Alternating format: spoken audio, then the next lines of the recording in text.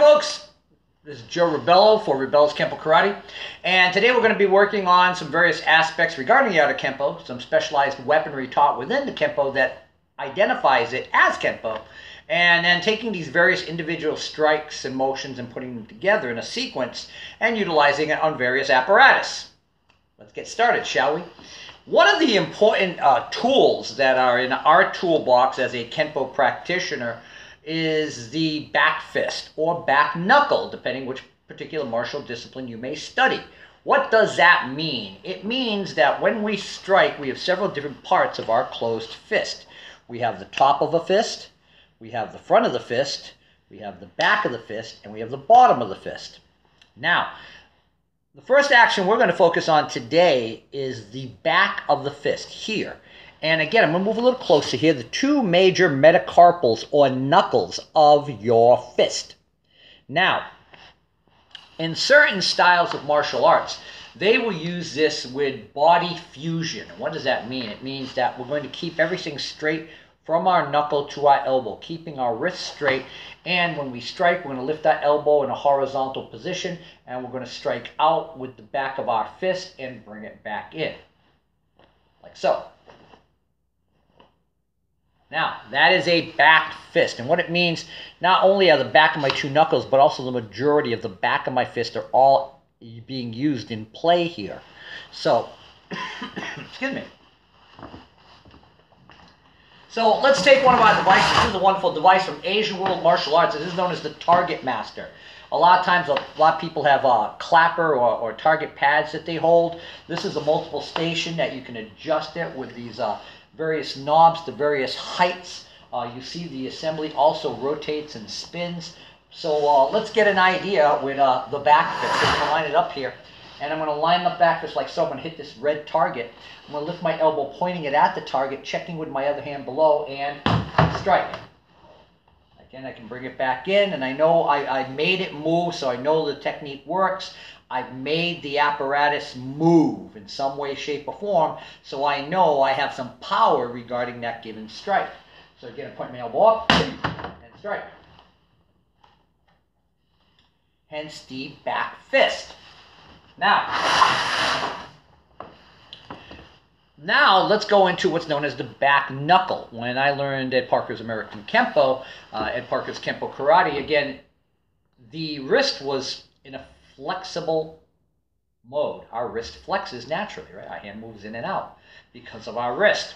So too, we want to utilize a whipping motion. And again, uh, you in of Kempo, they only mention whipping with an open hand. Others mention the whip-like motion with a closed fist. So here, again, I lift my elbow up, I extend my hand out, and I allow the wrist to flex in and out. So when I strike, I'm isolating those two major metacarpals as the main striking surface and the only striking surface utilized. So again, there's a phrase we utilize. The smaller the striking surface, the deeper the penetration. So now I'm going to utilize that same action, but now I'm going to allow that wrist to be flexible and pliable. So now when I bring up my target master once again, and I line it up. Now I'm going to use a back knuckle so it flexes. So again, it back in, aim focused, back, bring it back in, and back. So again, the difference between the back fist and the back knuckle, hear the difference in sound? Listen, a back fist Hear the slap, a back knuckle, hear the thud. That's the difference. Now, this can be done to a multitude of targets. Certain styles teach it only, you only hit in the temple. No.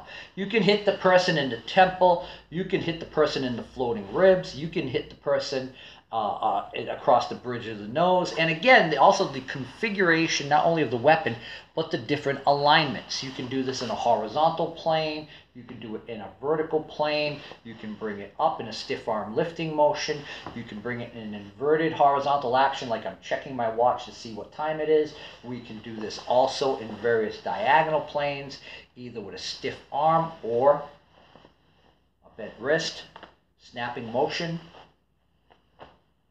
so, the back fist, by the way, in Cantonese known as kwa choi or kwa chui, uh, again, can be utilized in multiple angles. But for the sake of today's technique and drill, we're going to keep this with a outward horizontal back knuckle or back fist. Back knuckle from, from uh, Ed Parker's orientation, again, to isolate those two major knuckles.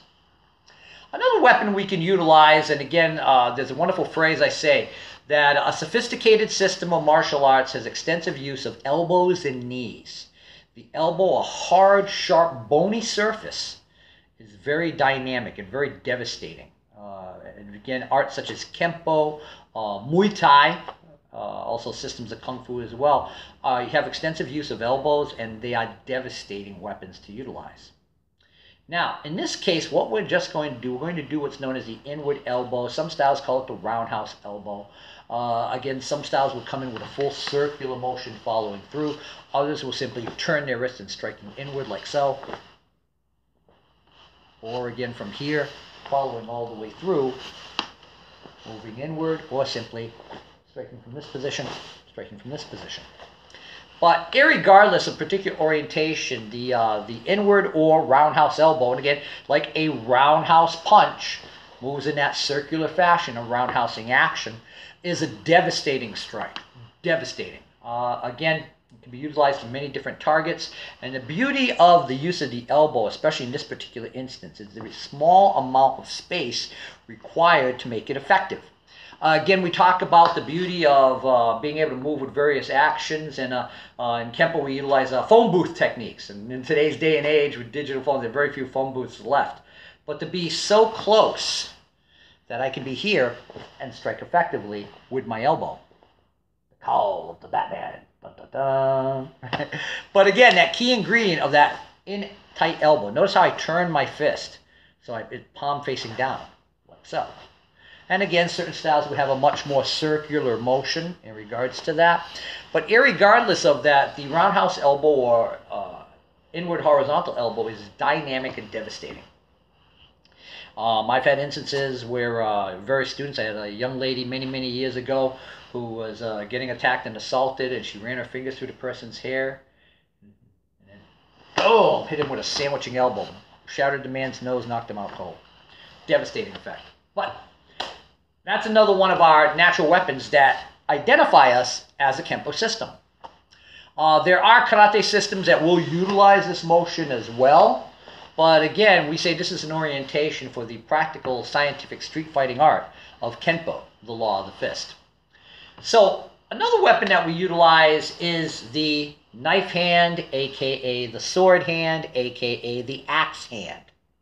Any sharp implement that you use to cut whether it be a small knife to a large axe to a long sword, are all depicted in this particular hand configuration. Now here you'll see we tuck the thumb at the side of the hand, pressing it directly, and we curl all four of our fingers, pressing them tightly together with a slight curvature. Now some people will do this with different alignments, again a two finger position, just a curled like almost like a claw position, uh, an eagle claw position. Again, as long as you're striking with this edge, this meaty, you'll feel there's a pad there. There's, there's protection there. There's, a, there's, there's a, a, a piece of padding and protection and, and muscle that, that enable us to have uh, proper tension of it, we can tighten that and strengthen that. Well, for now, we're going to place all five, four of our fingertips together and tuck our thumb along the side of our hand for this particular orientation or technique. Now, you can chop in, palm out, you can chop out, palm down. You can chop straight in. You can chop in a vertical position to the, to the, the clavicle or collarbone. You can thrust a chop or you can make it a circular motion. In this case, like so. in this case, what we're going to do, we're going to do two configurations. We're going to do the outward hand sword, opposite hand, opposite ear, the saying goes. Some styles will bring your hand all the way up to your ear and strike. Others will simply torque from this position in a vertical plane as opposed to horizontal, chopping in or chopping out. But in this case, what we're going to do, we're going to do an outward chop. It's either done to the side of the neck or directly into the throat. Again, in order to throat, we have to curl our wrist to protrude that knife edge or hand sword. So, again, from here, again, I, I'm, I'm half Portuguese, half Puerto Rican, and our ethnic uh, of, of you know, mom or dad giving you a backhand if you were a bad kid. Right? Hey, I'm gonna backhand you. Right? Again, if you're playing tennis, a backhand strike. Again, if you're uh, utilizing a baseball bat, one hand's moving in a backhand motion, other hand's moving in a forehand motion. But that key, that backhand action, that cross strike, it's coming across my body and striking out, coming across my body, striking out. That's the key. So again, and we said the opposite of out is what? In. I can chop palm up to the side of the neck or the floating rib cage. And again, I can strike out to the side of the neck, out to the floating ribs, out to the throat, any of these particular targets can be utilized with this particular action. Now, that being said, we're going to take those individual. Hey, you say, Mr. Bell, you didn't hit anything with the elbow or the, or the knife hand. You're right. Let's hit something. So uh, if I take that uh, backhand I was talking about earlier, knife hand, right? If I'm standing here talking to you, suddenly somebody grabs me by the shoulder, bang, knife hand. Again, if someone's facing me and they're going to attack me and bring my hand up, maybe they grab my wrist. I free my wrist, pow, chop. And again, I pull the hand in, bam, chop straight out. I'm moving a target. Now this, again, this is very flexible. It's got a lot of give to it. Got a lot of pliability to it. So again, you're able to work on the object, not break the apparatus, but you're able to be more accurate and exact in your targets. If I'm going to strike with my elbow, I can face in this configuration and come in this way. And again, from here, coming in this way, and striking in. Wow, could I strike in and hit with a back knuckle? Oh, we'll get to that in a moment, believe me. But this gives you an idea and an understanding of how the various actions work in regards to that. Now, so now let's take these uh, these three and four tools, and what we're gonna do is put them all together. Yes, Indeed. Let's try it out.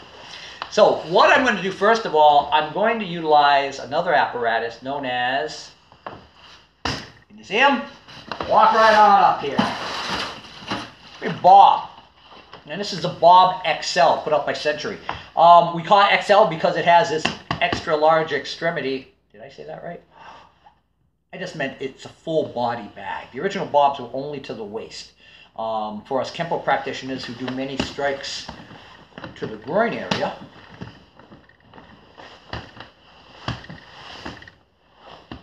We needed uh, a bag with a lower extremity so we could strike, right?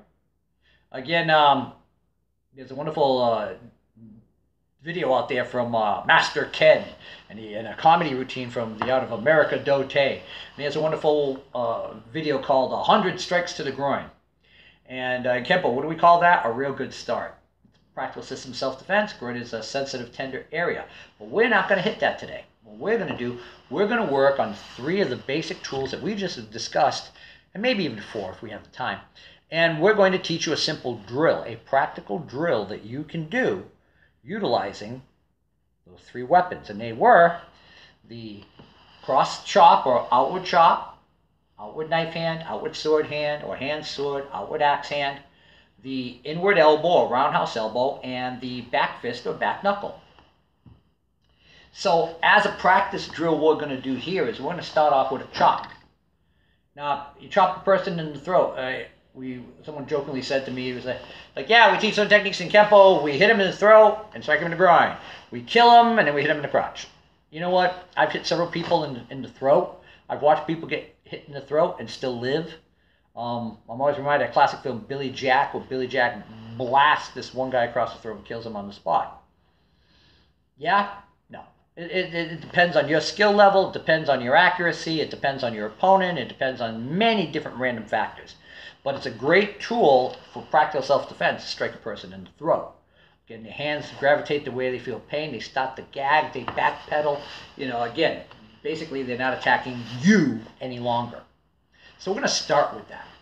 So again, from here, um, I'm facing, I may, might have my hands up. I might be just scratching my belly button, checking for lint.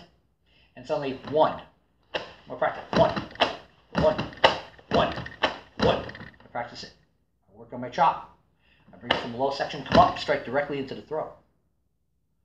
Now, right from here, Kempo, another element that's very important within Kempo is the understanding of using multiple strikes with the same limb, the same hand. So in this case, my first strike is going to be that cross knife hand to the throat. From there, I'm going to utilize a collapsing action and strike with an inward elbow to the side of my opponent's head. From here, I'm going to come out with a back fist or back knuckle like we talked about earlier. Notice my other hand is checking. It's possibly my opponent striking, but we'll get to that shortly. We just want to work this first drill. So, one, two, three. See it again. One, two, three. Again, chop, elbow, back fist. Chop, elbow, back fist. Chop, elbow, back fist. One, two, three. One, two, three. One, two, three. One, two, three. Now, what's going to happen is when I strike with that inward elbow, that's going to be the button. And one of the principles we talk about in the art of Kempo and its various incarnations is known as the button and the lever. The button is the point of your elbow making contact, in this case with my opponent's temple, and that in turn activating the lever of my limb to utilize an outward back fist or outward back knuckle. So again, I chop, I elbow, there's my button, there's my lever. One, two, three. I can move in toward my opponent, I can move out and away. I work these different ranges and distances in regards to this series of actions. So one, two, three. If I can do it with my right, could I do it with my left? Of course I can. So I switch sides, and again, I chop with my left, I strike in with my elbow, out with my back fist. Chop, elbow, back fist. Chop, elbow, back fist. Chop, elbow, back fist.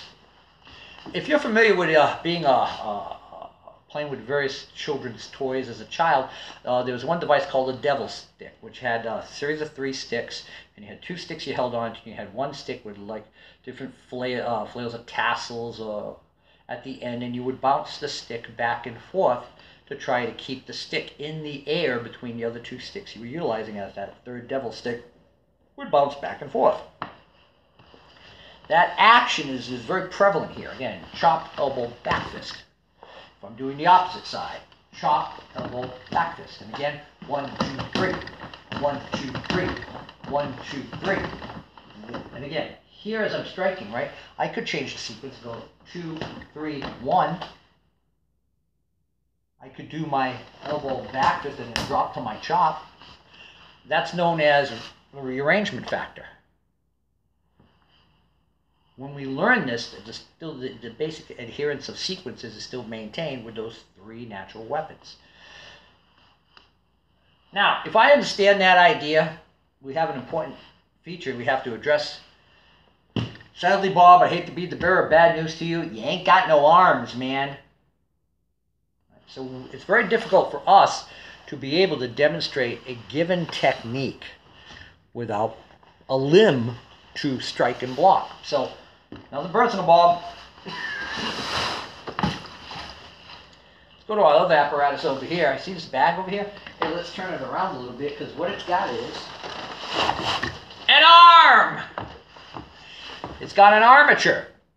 Um, in Chinese, the term for dummies is zhong. Uh, the wooden dummy you see popularized in the art of Wing Chun is a mukzhong, a wooden dummy.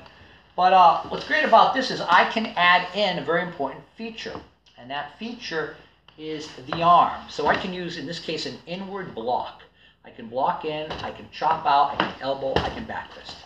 So I'm using that block. I'm closing the door. So from here, I bring my hand out from a raised position. Maybe I, hey, I don't want to fight. Pow, I defend myself. So my hand is here and I drop and I may put this other hand in a checking position just in case that other arm tends to come in, which it can and it may do, as we all know. So I'm here. I'm going to put my chest right up on the armature. I'm going to step back, I'm going to block in, chop out, I'm going to shuffle in. To slide in, step in with my, my, my right foot, and then strike with the back fist. So again, I'm starting here, and I step back and I block in, chop, elbow, back fist. That time I shuffled on the chop. So I can shuffle on the chop, I can shuffle as I move into the elbow. Again, I'm altering at which point I have to use a given foot maneuver or footwork in regards to that technique. Let's do that again, shall we? So I step back, I block in, I chop out, I shuffle in, elbow, back fist. So again, one, two, three, four. One, two, three, four. Now, what if I wanted to change that timing we talked about earlier? So I step back, I block one, and I go two, three, four. Now I've shuffled in on my second motion. So that way I can do all three elements of my offensive given drill in Kempo. So now, again, I place my hand here. One, I step back, establish a base, and block my other hands in check. But now I'm going to shuffle with that chop. And so now, one, two, three, four. Again, one, two, three, four. So I can change the sequence only in regards to my when I, when I shuffle. The basic four tools that are taught in regards to that technique are still adhered to. Now, maybe I don't want to block with a closed fist. Maybe I want to parry it with an open hand. I want to redirect the person's path. So now I parry, chop, elbow, back fist. Again, stepping back, open hand parry, chop, elbow, back fist. Notice the change in timing when I shuffled. Again, the basic tools of the original drill are still adhered to. That's the key. Hey, am I blocking to the inside of an arm or the outside of an arm? Yes. What do you mean? Well, again, by this armature, we're not telling you if it's right or left, are we? We're not telling you if you're blocking to the inside of an arm or outside of an arm. Kempo has certain laws regard, regarding that. First of all, if I'm blocking to the outside of an arm, I block at the elbow, not below it. The reason why to be concerned about it is not that you can't do it, but you have to be concerned about the possibility of the opponent, he, him, he or she himself or herself, folding that elbow and attempting to strike you with the aforementioned elbow we taught earlier. If we block at or above the elbow, they can't strike us because my skeletal structure is frozen at that point. So if I'm working to the outside of an arm, I block at the el at or above the elbow, chop the throat, elbow back fist. If I'm blocking to the inside of an arm, I may want to, I definitely want to block below the elbow, not above it, because I don't want the arm to fold in and hit me like that. So I block it here and freeze it in this fashion. But again, the basic sequence of the three strikes does not change.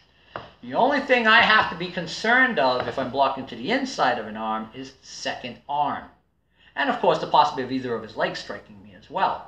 But the key ingredient here is that the whether it's to the inside of an arm or the outside of the arm, key ingredient is this basic pattern. Whether I'm using a closed fist to block or an open hand to parry, is still there. It's still utilized. It's still effective. That's the key. Now you say with that other hand, gee, what, what could I do with that other hand? Well, if, if I step back and block in with this hand, could I grab this hand? Because after all, I, want, I don't want him to hit me with this. So I can also step back and block it with a grab, chop, elbow, back fist. Technique still remains the same, but now I'm controlling this. I'm, I'm, I'm monitoring this hand, as one particular art says.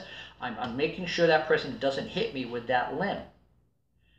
Also, if I do Kenpo Jiu-Jitsu, I can also go into different wrist locks and arm bars and throws and takedowns once I make that physical contact in a grabbing fashion with my opponent's limb. And again, whether it's the inside of a right or the outside of a left, I can still grab that limb and work it from there. That's the beauty of it. Now, um, when we deal with this, I'm going to go back to our buddy. Thanks for the help. I'm going to take my strong arm, roll it to the side here. And I'm gonna bring my other buddy back here, Bob.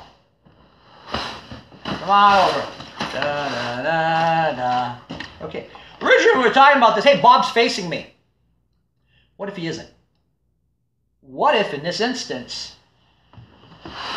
Bob's attacking me from the side? Bob's attacking me with a flank attack. Maybe he grabs my shoulder. Maybe, maybe, maybe, he, maybe he's doing a side choke to me. Maybe maybe he's just grabbing me to yank me toward him, to yell in my ear. Could I not do the same sequence? Sure I could. I strike here, I elbow directly to the temple, back fist him right in the nose. Same drill, right? Right? Chop, elbow, back fist. Again, chop, elbow, back fist. Now, you say, well, what if he's on the side and he tries to throw that punch? Well, again, we block with the arm here, chop, elbow, back fist. That same drill we did earlier with the, uh, the strong arm dummy can be done with this. Right? Again, guy throws a punch from the side, block, chop across the throat, elbow in the temple, back fist right across the ridge of the nose. I never out the name. I I do a ton of things from there, but I'm a nice guy. Aren't you lucky, Bob? Sure you are.